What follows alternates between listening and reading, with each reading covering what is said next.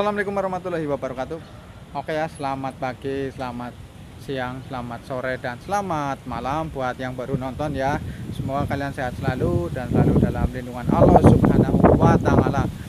Oke, di video kesempatan pagi hari ini saya mau review motor, guys.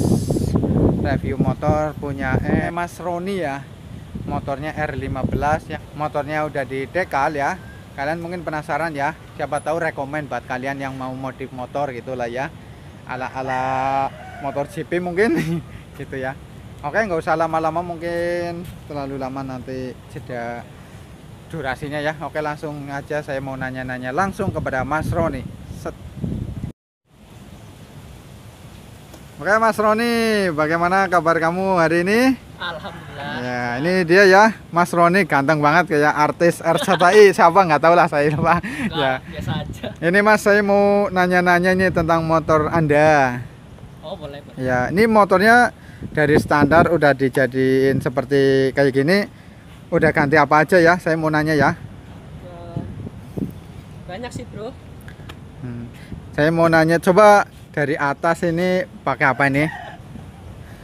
Rogat Lektek cuman jadi ini orinya patah. Saya Iya. ganti aja yang lainnya yang lebih murah. gitu. Hmm. Cuman selamatinnya doang, soalnya udah pernah jatuh. Oke Mas, lanjut aja ya. Hmm. Berhubung noise-nya angin ini ya di pinggir pantai, enak banget tadi pagi-pagi habis reading bareng ya. Oke lanjut, ini apa aja ya yang udah diganti tadi? Ya, ini Progat. Progat itu namanya Progat. Terus ada Master Rem ini pakai KRS. Oh, berapa itu mas harganya mas? Ini mungkin sekarang kalau terakhir saya cek di online itu kisaran 750 ya. Ya, 750. Mm-mm. Terus diganti apa lagi yang Ini ada gas spontan dari Domino. Domino? terus saklar starternya pakai punya Sabre Sabre ini ya Yamaha Sabre Henry pakai Domino cuman ini udah lama banget udah buluk udah Oh iya diganti udah ngelupas. iya umur lah biasa terus ada lagi ini handle coupling pakai RCB punya yang Oh, pakai RCB yang itu guys. Udah enak sih ini cukup. Oke mas, saya penasaran itu sama peleknya itu ya bagian depan. Coba dijelasin lah mungkin yang apa yang nonton Ini pada ya. penasaran. Coba jelasin tuh jadi pakai. ini velgnya ya. Velgnya ini punya ori Yamaha Sabre cuman di custom biar penpack ke R15 V2 gitu. Ini juga udah di carbon printing ya bukan repaint ini. Ya kayak repaint cuman dia ini WTP water carbon printing yang dicelup. Bukan Kevlar.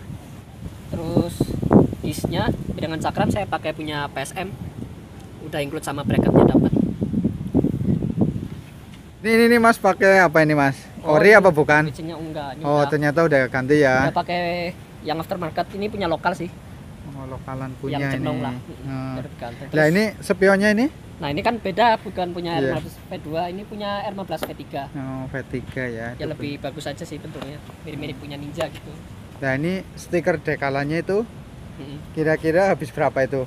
Full body apa enggak itu? Apa nyicil-nyicil?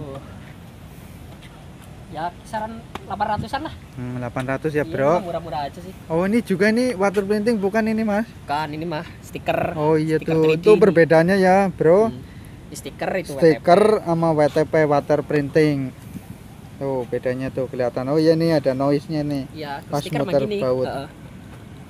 Ya.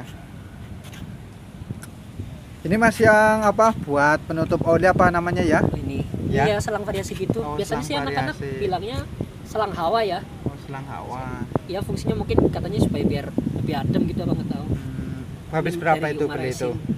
Berapa sih paling yang kebaca 50 100 ribu lah paling. Oh, kurang lebih segitu ya. Nah itu pakai knalpot. Aduh mundur. nah, Nah itu pakai knalpot R9. iya Airnet ini tipenya Airnet CP gas jadi dia itu stainless stainless Stainless. Ini pakai underbone apa ini beda nih kayaknya Ini ya udah diganti ya. dari Bepro Oh Pro.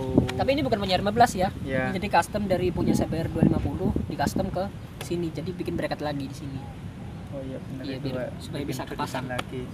Nah ini ini ini ori apa enggak ini mas? nah Ini. ini juga stiker Oh. sama yang ke depan Oh itu stiker ya. velgnya doang ini yang di water Oh, printing tapi nggak terlalu kelihatan di stiker Iya. ya tuh.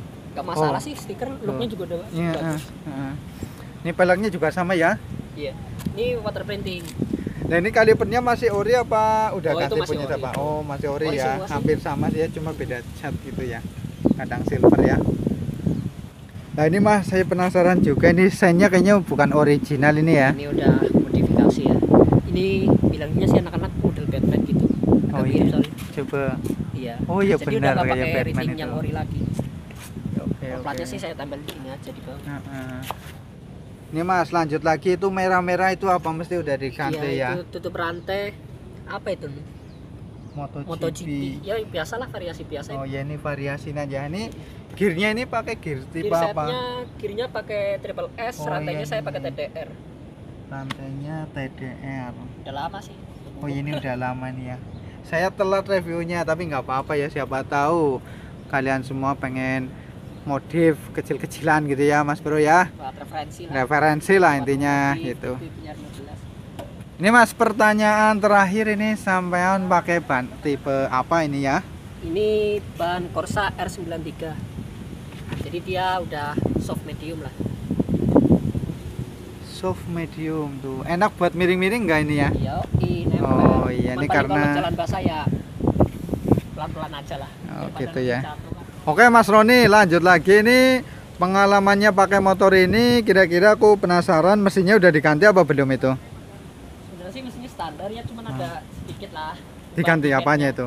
Headnya saya porting polish biar Oh, lebih plong. polis gitu ya. Sama bir kopling sama bir klep saya ganti. Punya Kawahara. Oh, lah itu motor ini kan udah lama ya. Selama pemakaian itu enak nggak R15 itu punyamu itu? Enak sih, nyaman. Nyaman. 150 cc Nah. ini, walaupun tenaganya nggak terlalu besar. Hmm. Dari segi pemakaian itu boros apa enggak? Menurut Irit, irit Anda? banget ini Oh. sama aja sama Vixen sih. Oh, Sama satu- R15 190 irit guys. Tuh. Rekomen pokoknya ya Oke Mas Roni terima kasih banget ya udah Oh, oke, menyempatin waktu ya buat saya review motornya ya Iya, iya. ini teman baik saya di Kebumen karena saya lama di Kebumen ini ya belum ke Jakarta lagi. Makanya saya datengin teman-temanku ini ya. Oh ya Mas Roni juga punya akun Instagram ya? Ada. Ya coba apa itu nama akun Instagramnya? Roni. Double N Y. Roni. Nah, ya, jangan lupa di follow ya. Dia juga kenal saya terus katanya niat mau ngevlog guys. Tuh.